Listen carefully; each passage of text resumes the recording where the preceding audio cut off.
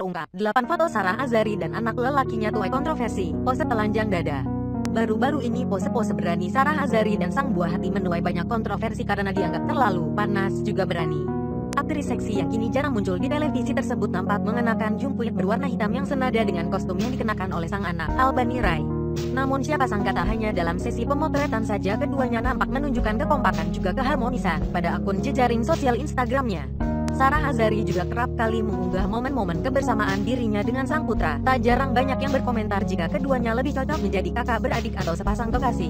Hal ini tak mengejutkan lantaran di usianya yang menginjak kepala empat, Sarah nampak awet muda bak remaja 20 tahunan.